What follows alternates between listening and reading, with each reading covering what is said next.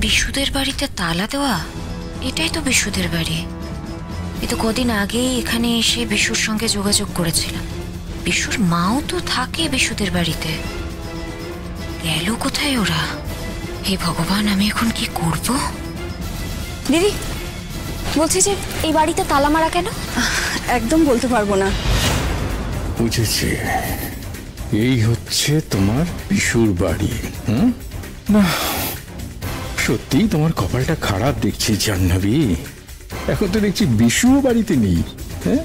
বিশুর বাড়িতে তালা দেওয়া। তোমার তো একেবারে মাথায় হাত দিয়ে বসে পড়ার মতো অবস্থা হবে, জাহ্নবী। কি করবে জাহ্নবী এখন? আমার সঙ্গে পাঙ্গা নিতে এসেছি হ্যাঁ? আমার সঙ্গে পাঙ্গা নেওয়া কি আর অত সহজ? আচ্ছা এরা কখন আসবে বলতে পারবেন? আমার খুব দরকার ছিল। আমি কি করে জানব? আর কাউকে তো দেখতে পাচ্ছি না। আমি বলতে পারব না।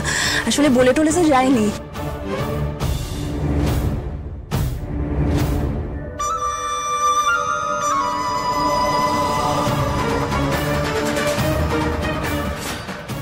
দাদা বিশু কোথায় গেছে বলতে পারবেন? কি জানি কোথায় গেছে ঠিক বলতে পারব না। তবে বিশুকে দেখলাম সকালবেলা ব্যাগ ট্যাগ গুছিয়ে কোথাও একটা যাচ্ছে। বোধহয় দূরে কোথাও কাজ টাজ পেয়েছে তাই হয়তো চলে যাচ্ছে। ও বাইরে কাজ করতে চলে গেছে? আপনার কাছে বিশুর নাম্বারটা আছে? অ্যাকচুয়ালি আমার খুব দরকার। আপনি যদি আমাকে বিশ্বাস করে নাম্বারটা দেন আমার খুব সুবিধা হবে। দেখুন আমরা একই পাড়ায় থাকি। মাঝে মাঝে দেখা সাক্ষাৎ হয় কে আর কার ফোন নাম্বার দিয়ে রাখবে বলুন। আমার কাছে বিশুর ফোন নাম্বার নেই। আচ্ছা বিশুকে একাই গেছে না ওর মাও সাথে গেছে? না ওর মাকেও সঙ্গে দেখলাম তো। তার মানে বিশুর মাও এখানে নেই? তাই তো জানি। বাড়তি যখন তালা দেওয়া তখন সঙ্গেই গেছে। আর তাছাড়া আমি নিজেও তো দেখলাম যে বিশুকে বিশুর মায়ের সঙ্গে।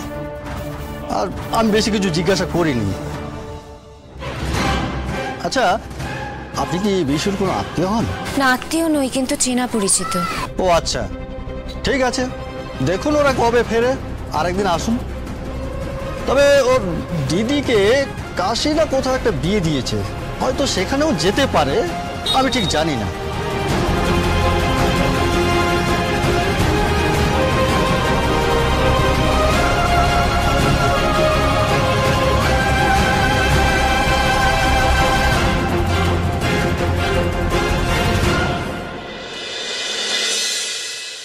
তুমি কি তাই চেয়েছিলে ঠাকুর?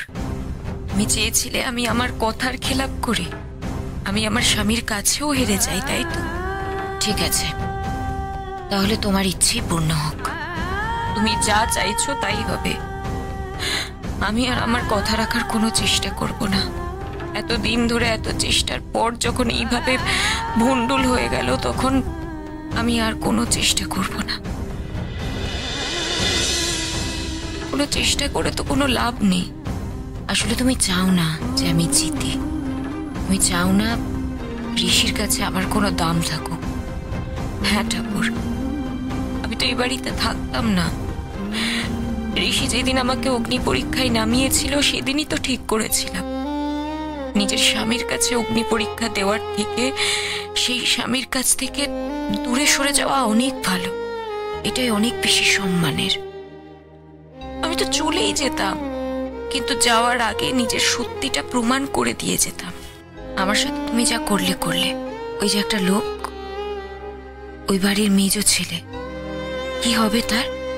আমার সঙ্গে সঙ্গে তো তাকেও আজ বাড়ি ছাড়তে হবে। আর ওই বাড়ির মেজমা আমার মেজমা সে যে একজন পর পুরুষের সাথে ঘর করেছে, সেই গ্লানিতে তিলে তিলে শেষ করে ফেলবে নিজেকে। তুমি তাই চাও তো? বেশ। তুমি যা চাও তাই হোক।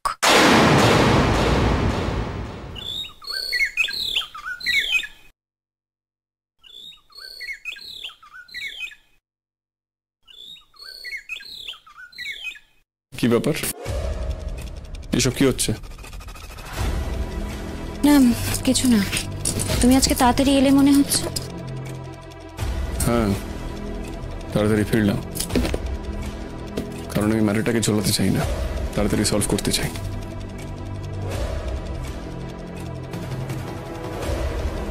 আশা করি তুমি তোমার সব তথ্য জোগাড় করতে পেরেছ। সব প্রমাণ জোগাড় করতে পেরেছ। না পারিনি। মানে? না গো ঋষি আর ঘোরাবো না। তার মানে? ধরে নাও আমি হেরে গেছি। সেটা তো আমাকে একা বললে হবে না। সবার সামনে যখন কথা হয়েছিল তুমি যখন সবাইকে বলেছিলে সবার সামনে দাঁড়িয়ে তুমি প্রমাণ দেবে তখন এই কথাটাও তোমাকে সবার সামনেই বলতে হবে। ঋষি আমি তো একবারও অস্বীকার করিনি যে আমি সবাইকে বলব না। এই ছেলে মানুষটার কি প্রয়োজন ছিল? তুমি যে কোনটাকে ছেলে মানুষই বলছো আমি জানি না কিন্তু আমি জ্ঞান তো কোনো ছেলে মানুষই করিনি। হ্যাঁ তুমি ছেলে মানুষই করেছ। আমার সঙ্গে পুরোটাই ছেলে মানুষই করেছ। পুরোটাই? হ্যাঁ পুরোটাই। আচ্ছা তুমি বলো তো তোমার এক্স্যাক্টলি কি স্বার্থ ছিল? একটা মিথ্যে লোককে সত্যি প্রমাণ করার? লোকটাকে বাঁচানোর? দেখো আমি যখন প্রমাণ করতে পারিনি বিষয়টা অতএব এই ব্যাপারে কোনো কথা বলার অধিকার আমার নেই। তাহলে তুমি মিথ্যে কথা বলেছ। আমাদের মৃত্যু জেঠুকে তুমি ফোন চুরির অপবাদ দিয়েছ। সবকিছুর একটা লিমিট আছে জাহ্নবী। সবটাই যে আমি মেনে নেব তার তো কোনো মানে নেই। উনি আমাদের বাড়ি গার্ডিয়ান তাকে তুমি অপমান করবে সেটা আমি মেনে নেব তোমার পক্ষে থাকব। সেটা তো হতে পারে না। সেটা তো হয়ইনি ঋষি। সেই জন্যই তো তুমি আমার পাশে নেই আমার পক্ষে নেই। তবে আমি একটা কথা তোমাকে বলতে পারি। আমি কোনোদিনও তোমাদের মেজ জেঠুমণিকে অপমান করিনি। আলবাদ করেছ। যা করেছ পুরোটাই অপমান। এখন বলছো অপমান করনি? বললাম তো ঋষি আমি তোমাদের মেজ জেঠুমণিকে কোনো সময় অপমান করিনি। আমি যাকে অপমান করেছি সেই বাড়ির কেউ হয় না। বারবার এক কথা বলে লাভ নেই জাহ্নবী। এখন তো দেখছি সকলে যা কথা বলেছিল তাই ঠিক। কি বলেছে সকলে? সকলে কি বলছে জানো না? সকলে কি বলছে বুঝতে পারছ না? সকলে এটাই বলছে তুমি মিথ্যে লোকটাকে এই বাড়িতে প্রমোট করছ। কারণ লোকটা তোমার হাত ধরেই বাড়িতে এসছে। শোনো ঋষি সকলে এই কথাটা বলছে না। তুমি ঘুরিয়ে আমাকে এই কথাটা বলছো। সকলে তো বলছে যে আমি লোকটাকে হাত ধরে এই বাড়িতে নিয়ে এসেছি। আমি লোকটাকে এখানে প্লান্ট করেছি। তুমি সরাসরি কথাটা কেন বলতে পারছ না? কারণ এখন আমার সেই কথাটা বিশ্বাস করতে অসুবিধা হচ্ছে। বিশ্বাস করার তো কিছু নেই। আমি তো তোমাকে নাকে দড়ি দিয়ে ঘোরাচ্ছি না? আমি তো প্রমাণই করতে পারিনি।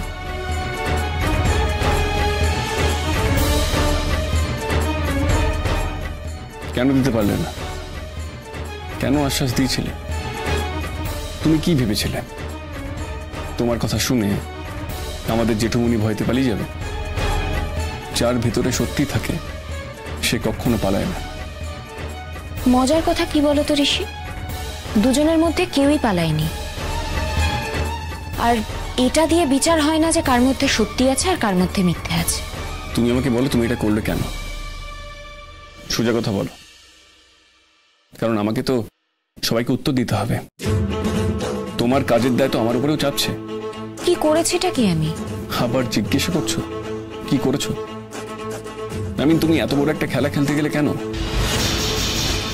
কি দরকার ছিল? আমাদের মেজো জেঠুকে তুমি মানতে পারছ না কেন? কিসের স্বার্থহানি হবে বলে তোমার মনে হচ্ছে? তুমি আমাকে সোজা কথা সোজাভাবে বুঝিয়ে বলো। এসে আমরা আর কিচ্ছু বুঝিয়ে বলার নেই গো। বুঝিয়ে বলার থাকলে আমি কাজে করে দেখাতাম। কাজে যখন কিছুই করে উঠতে পারিনি অতএব আমি কিছু বলতে চাই না। আর আমার মুখের কথার কি দাম আছে বলো তো? মুখের কথার দাম থাকলে আমাকে এই পরীক্ষাটাতেই নামতে হতো না। পরীক্ষা যখন দিতে হয়েছে অতএব আমার মুখের কথার কোনো দামই নেই। তাহলে তুমি বলেছিলে কেন? কেন বলেছিলে আজকে তুমি প্রমাণ নিয়ে আসবে? ভুল বলেছিলাম ভুল বলেছিলে? তার মানে তুমি মানছো তুমি মিথ্যে কথা বলেছ? হ্যাঁ অগত্যা। এটা ছাড়া কি আমার কাছে আর কোনো উপায় আছে? তুমি সবার সামনে আমার মাথা নিচু করেছ। তুমি যদি এখন বিশ্বাস করো যে আমি তোমার মাথা নিচু করেছি সবার সামনে তাহলে সেটাই সত্যি। হ্যাঁ করেছেই তো। এখন তোমার মনে হচ্ছে বাড়ির অন্যেরা যা বলছে সেটাই ঠিক। আমার বাবা যা বলে সেটাই ঠিক। কোন কথাটা বলো তো? তোমার বাবা কিন্তু অনেক কথাই বলে। তুমি তার মধ্যে ঠিক কোন কথাটা ঠিক বলে ধরছো আমার তো জানা উচিত। ওই যে তুমি আমার জন্য ফাইট করেছিলে। তুমি এই বাড়ির বউ হবে বলে। ও আচ্ছা আচ্ছা। তার আগে তো আমি বউ হতে পারতাম না। তুমি তো তার আগে আমাকে বউ হওয়ার প্রস্তাবই দাওনি না? তখন তো তুমি মহান হয়েছিলে। নিজেকে মহান প্রমাণ করার জন্য তুমি সেই প্রস্তাব গ্রহণ করনি। সেদিন যদি তুমি প্রস্তাব গ্রহণ করতে কারোর জীবনেই এত জটিলতা আসতো না।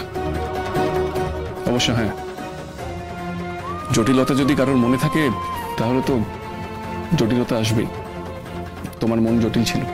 সেই জন্যই সবকিছু ছেড়ে আজকে চলে যাচ্ছি ঋষি। হুম থাকবে কি করে? থাকার তো মুখ নেই। এই বাড়িতে কেউ তোমাকে মানবে না। ঋষি এই বাড়িতে কেউ মানলো না মানলো তাতে আমার কিচ্ছু এসে যায় না। এই বাড়ির বাকি লোককে কিন্তু আমি বিয়ে করিনি। আমি তোমাকে বিয়ে করেছি। তুমি মানবে না সেই জন্যই আমি চলে যাচ্ছি। তুমি বলো না। নিজেই বলো। এরপরেও কি তোমাকে মানার কথা? না একদমই মানার কথা নয়। প্রমাণ যখন হয়েই গেছে আমি তোমাকে মিথ্যে কথা বলেছি আমি তোমাকে নাকে দড়ি দিয়ে ঘুরিয়েছি তখন কেনই বা তুমি মানতে যাবে বলো? তার থেকে পরিষ্কার মেনে নিতে পারতে ভদ্রলোককে। এখন তুই ভদ্রলোককে কেউ ছাড়বে না ওকে তো জেলে পাঠিয়ে দেবে। দেখো ঋষি আমি তো চলেই যাচ্ছি। তোমার কাছে একটাই অনুরোধ তোমরা দয়া করে এই কথাগুলো বলো না। আমি তো ওই মানুষটাকে নিয়ে চলেই যাচ্ছি। কেন? একটা লোক এত বড় অন্যায় করল আমার মেজমার সততাকে নষ্ট করল আর আমরা তাকে এমনি ছেড়ে দেবো? ঋষি তোমার কাছে আমার এইটুকুই অনুরোধ। যদি আমি কখনো তোমাদের কোনো উপকার করে থাকি তাহলে এই কথাটা মেনো প্লিজ। প্রশ্নই ওঠে না।